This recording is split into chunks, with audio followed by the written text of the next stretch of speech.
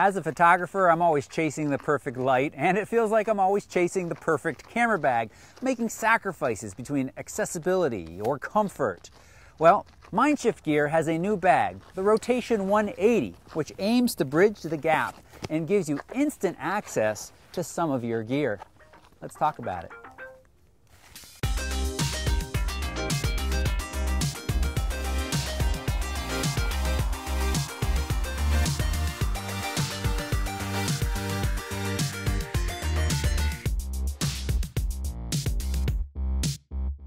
I've been a big fan of Mindshift Gear and Think Tank. Their Backlight 26L has been my main camera bag for the last four years, and I've been pretty happy. When they offered to send me the new Rotation 180 earlier this summer, I wasn't actually that excited. I'd tried an earlier model at a trade show a couple of years ago. It seemed fairly gimmicky.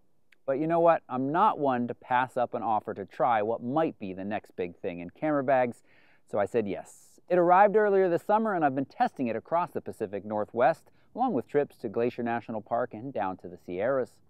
Now I've been testing the 34 liter. It also comes in a 22 liter day pack and a massive 50 liter multi-day pack that expands to 56 liters.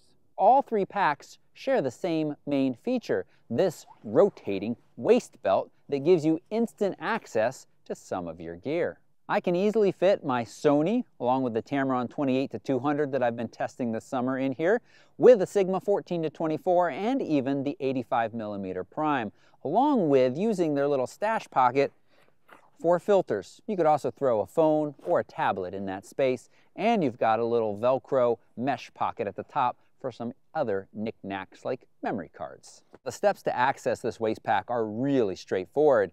Unclip, grab, pull around to the front. It's just that easy.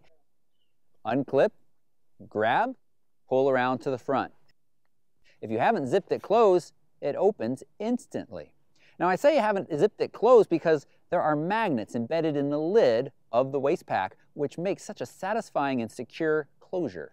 The process to put it back in is a reverse of those motions, though I do find a little lift helps with the process. The bag is really comfortable with a nicely padded back cushion that's also vented. The shoulder straps are adjustable and the bag in general is quite comfortable. And like all Mindshift gear, it seems to be really well built. Even with all of the fun features, the 34L weighs in at under 5 pounds. You've got the top part of the bag that provides room for other gear, small dogs, or you can add their Stash Master.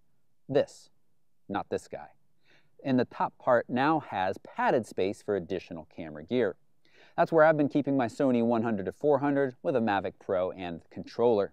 I use the remaining space to stuff a light jacket, vest, and a few snacks. The top flap's got a small zippered pouch and a key clip. You also have a giant water bottle pouch on one side, which I've been using for a water bottle, and a tripod at the same time occasionally, and it's important to note that that water bottle pocket is actually reachable while you're wearing it although it's not so easy to always get back in yourself. You also have an internal hydration pouch which could instead hold a laptop. And you've got a center tripod attachment system, making this bag capable of carrying two tripods at one time. Overall, we've got a really thoughtfully designed bag by a company with a great track record for making good bags. It's a winner, but there are some drawbacks to this design that I want to let you know about. While gear access through the waist belt is super easy when you're wearing it, once you take the bag off and put it down, it becomes a little bit more awkward to access this bottom section. And then the bag wants to fall over. The 50 liter does allow back access, so when the bag is laying down, that's fine.